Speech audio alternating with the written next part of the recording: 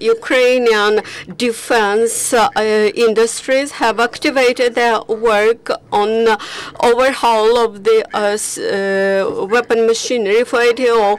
Uh, by the moment of ceasefire beginning, mm, they revived 67 uh, armored vehicles, including 30 tanks, 20 APCs, and nine artillery systems. Also, they revived three um, um, armed helicopters, Mi-24P. Uh, despite the ceasefire in Donetsk, uh, the um, militants continue shelling uh, aimed at destabilizing the situation and ruining infrastructure. Thus, they have uh, switched electricity to the Donetsk radio TV tower. Mm, uh, the ter LNR ter terrorists started to compile lists uh, uh, of the objects of infrastructure that had to be ruined and that suffered from their shelling uh, in order to manipulate with this information um, in line with uh, item 15 of the uh, presidential peace plan, uh, the uh, overhaul and revival of important infrastructure objects in Mariinsky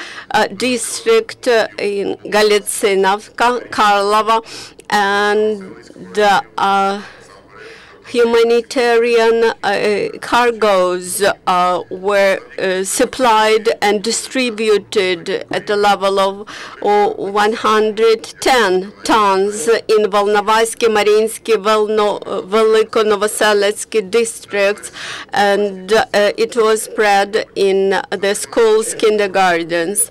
The special operation was undertaken by the counterintelligence service of Ukraine, and uh, they have discovered an uh, subversive group which planned terror terrorist attacks and uh, subversive acts in Mariupol. The leader of this group, uh, who is called Grek, uh, was arrested. Two citizens of Ukraine uh, who, who are residents of Mariupol Mariupol, the group leader was involved in Donetsk by Russian special services for subversive activities in Donetsk Oblast. Also, the special service of Ukraine stated that he uh, led his activities in Novoazovsk and instructed uh, mm, other people uh, uh, and received $3,000.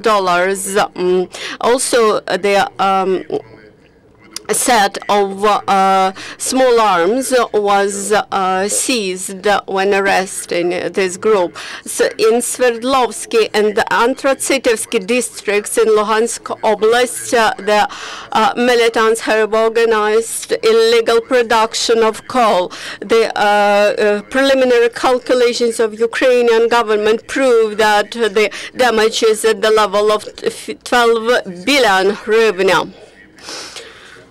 Uh, and uh, because of subversive acts and shelling. Uh, 4.5 uh, thousand residential buildings are ruined. 4.7 uh, of uh, heating systems are ruined, uh, and other buildings, healthcare facilities, and industrial objects. In Snizhnomu, uh, DNR leaders try to um, uh, involve so-called Inakivsky criminal group to the leadership in the region. The general uh, terrorists have strengthened us pressure uh, on mass media in the Donetsk region, and they plan to uh, organize dissemination of Russian uh, media and uh, printed uh, publications.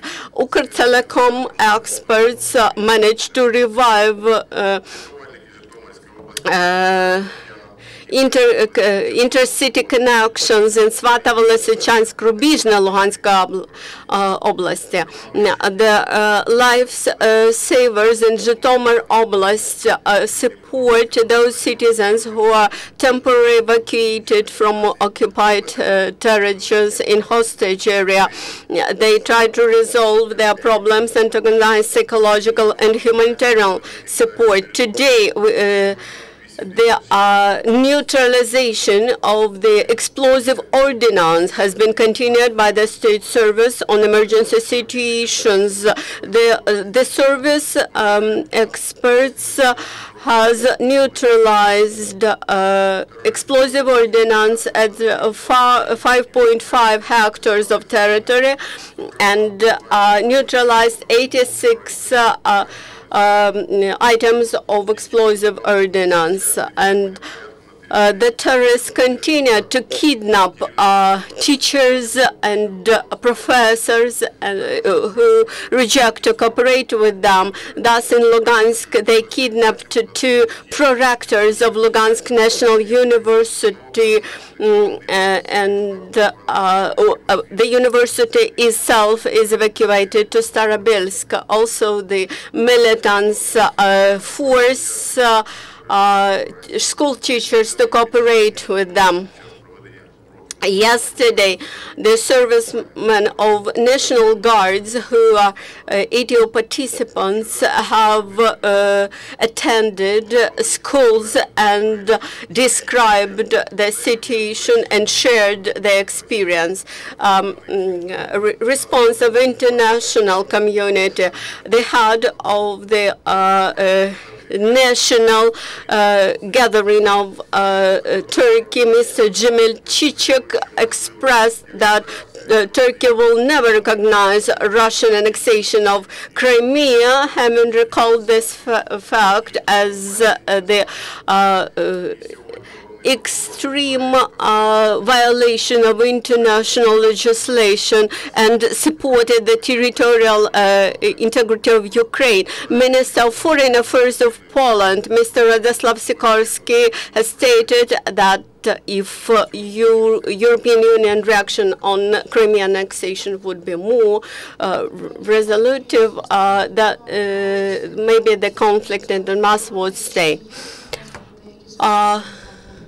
Uh, as far as we know, today there will be the National Security and Defense Council meeting um, today. And uh, do you know what is the agenda? What decisions could be made? I'm not uh, uh, familiar with the, the agenda and uh, cannot assume what what decisions will be made. As soon that uh, the decisions are made, we will immediately publicize them. Uh, uh, will you please explain what does that sign on your map means? This line, where, uh, this is the uh, line which shows the border where fire, the, where enemies' fire uh, reaches. Uh, mm, uh, uh, so this is the- actually the line where Ukrainian uh, servicemen may stay. Yes. Could you provide any information about uh, uh, liberated hostages? mm, because the information is very controversial. You know that uh, hostages are liberated gradually, not just uh, um, in a big groups, but in small groups. This happens without any preliminary schedule. It, uh, uh, it happens gradually and uh, uh, unexpectedly to broad public. Uh, quite often it happens that uh, uh, terrorists change uh, the previous conditions which they had put forward a day before, and mm, we do not disseminate any information in advance of any liberation of hostages. We release information only on the actual. Uh, um, release of uh, hostages. In the morning, I provided official information that during the last day, 57 hostages were released and they came back home. Uh, now we provide them with medical assistance, with psychological support, and provide them with necessary uh, vacation holiday. Mm, Actually, we um, uh, use any opportunity to liberate hostages, not looking at the fact who they are, mm, whether they are servicemen or they are civil people. We liberate everybody whom we manage to liberate. Uh, uh, do you have the uh, uh, lists of preliminary hostages? No, unfortunately, we do not have the list of prelimin- uh, preliminary lists of hostages, and the terrorists do not have them. They make them uh, ad hoc, and immediately they make the new list. We try to um, liberate people, and uh, they, uh, but all the time they try to get as uh, much benefit as possible from each uh, exchange procedure. Um, and uh, you do not know the exact number of people who are uh, kidnapped or detained or um, mm, uh, uh, uh, we do not know because there are some people uh, who are detained or who disappeared, and we do not know what happened to those people. And uh, terrorists do not say what happened to these people. Uh, and actually, our negotiators they work uh, very intensively. Mm, Our um, mm, officers, negotiators, they uh, um, all the time participate in the meetings with our hostages. They make lists and uh, do efforts to release them.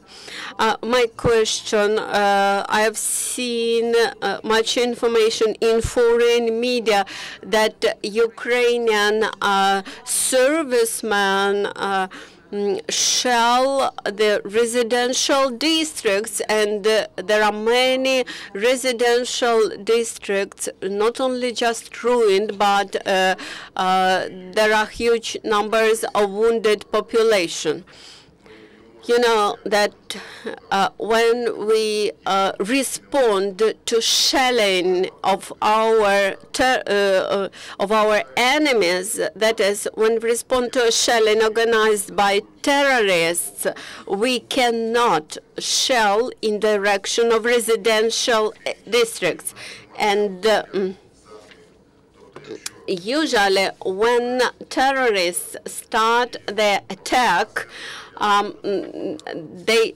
uh, they do this in the field, not in a residential district, and there is no sense to start shelling in a direction of residential district uh, because there is no terrorists uh, in it, uh, and quite often that there's a terrorist who shell the residential district. So uh, the next uh, official release will be tomorrow at 12:13. Thank you.